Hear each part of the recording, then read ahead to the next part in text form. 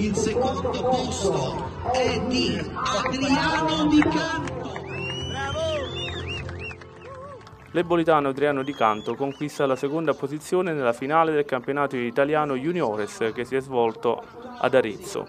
Il promettente cavallerizio è stato battuto solo da Gabriele Gasparetto. Il podio è stato invece completato da Elisa Ottobre. Un podio straordinario per la stella nascente dell'equitazione italiana, l'ebolitano Adriano Di Canto, che è tra le promesse della società ippica La Madonnina di Vinovo, in provincia di Torino. Alla finale di Arezzo hanno preso parte 17 concorrenti e l'ebolitano Di Canto, con i suoi 16 anni, era tra i più giovani.